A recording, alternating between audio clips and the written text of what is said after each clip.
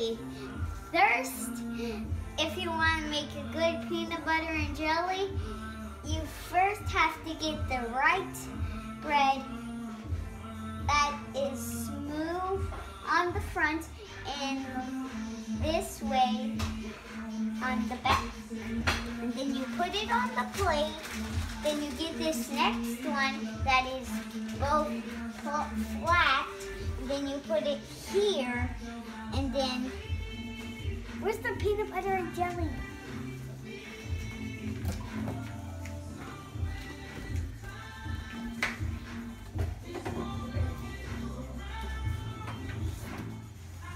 Butter knife.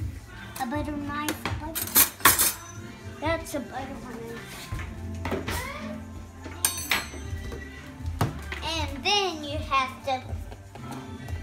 This jar of peanut butter.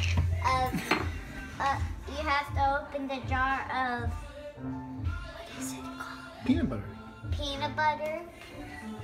Then you spread it around. You watching, mommy? Yep. Taking notes?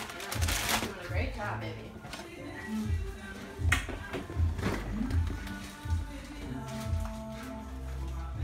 You spread it. Just spread it. And now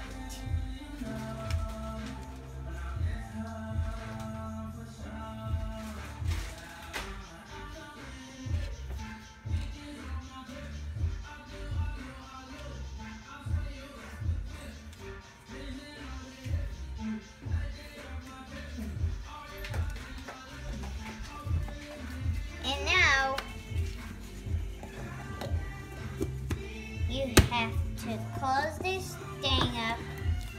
Have to close it back.